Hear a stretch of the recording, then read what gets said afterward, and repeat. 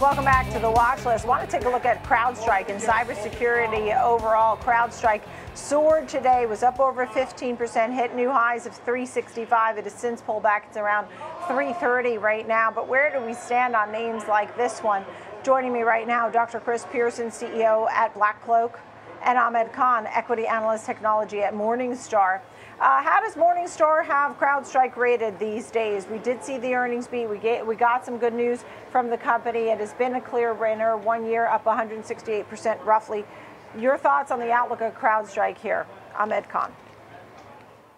Yeah, so we have a $300 price target on CrowdStrike, so we roughly see it fairly valued, especially since the stock has come down a little bit uh, during the day after being almost up 25% after hours. Uh, generally, we are very bullish on CrowdStrike. We have uh, strong growth and profitability assumptions. We really like where the company is headed. It's a high quality cybersecurity vendor and currently trades in our three star territory. Yeah, understood. Dr. Chris Pierson, how are you feeling about CrowdStrike?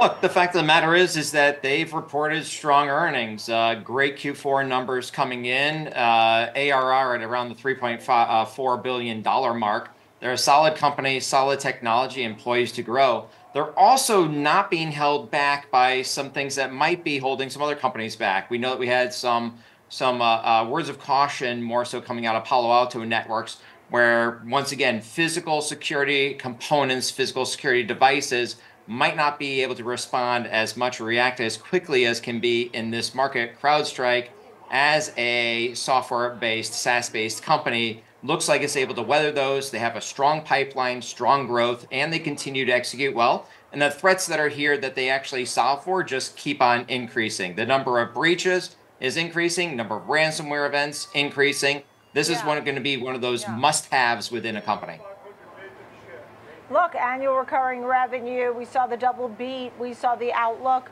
earnings per share and revenue. It just look, it just overall looked like a very healthy report.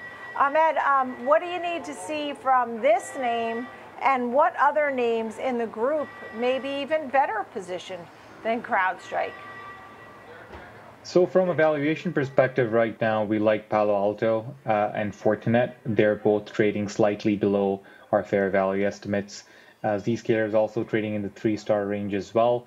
Uh, with regard to CrowdStrike in particular, um, we would like to see a bit more traction on, on, on some of the new uh, growth verticals that they're entering, whether that's cloud security, identity, or LogScale, uh, next generation SIEM. Uh, they're they're tracking very nicely uh, in these three growth verticals, and and and we think that these three new growth verticals are going to be major growth drivers for the firm going forward. Yeah, when you look at names like Palo Alto and Fortinet, I mean, I see Fortinet year to date is up 22%.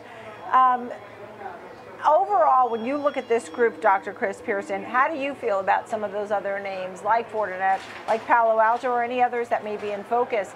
Are those the best position in the group?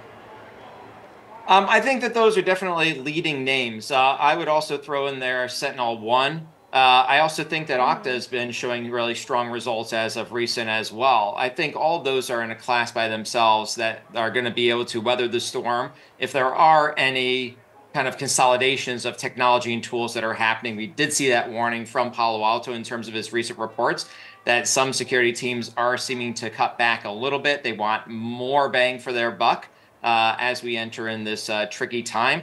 But I think that, look, this group of companies is really well poised to perform this year, especially those that are reliant more on software as a service and not necessarily hardware based uh, technology. They're going to be ones that will be able to weather that storm and explore new market opportunities.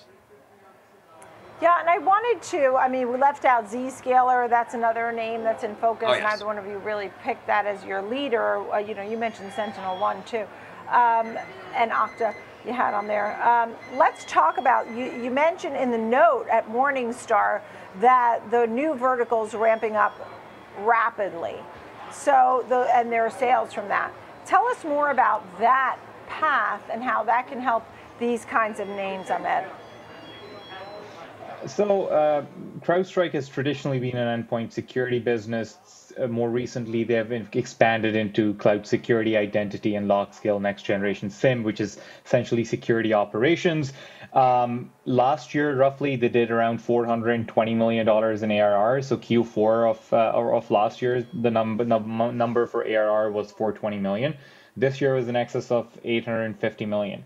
So that goes to show they doubled these businesses within a year, uh, and they're growing very nicely. And also, as CrowdStrike sort of expands these adjacencies, we think that it increases the overall switching costs of the business, which makes less churn less likely. And one thing, an additional thing I'd throw in there is that CrowdStrike's gross retention metric is arguably the highest in cybersecurity. It's at around 98%. So that just goes to show how sticky their solutions are. Um, and we expect that these new growth verticals will only add to the customer switching costs that CrowdStrike already enjoys.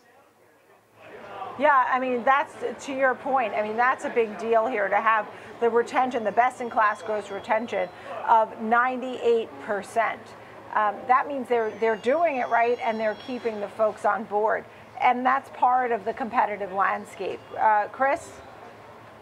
Uh, look, the fact of the matter is, is that CrowdStrike focused its eyes on something that was EDR. They focused on one area, one sector, one thing to go attack first and now they're branching out into others. This is going to play very, very nicely for them as chief information security officers look to consolidate multiple tools into one.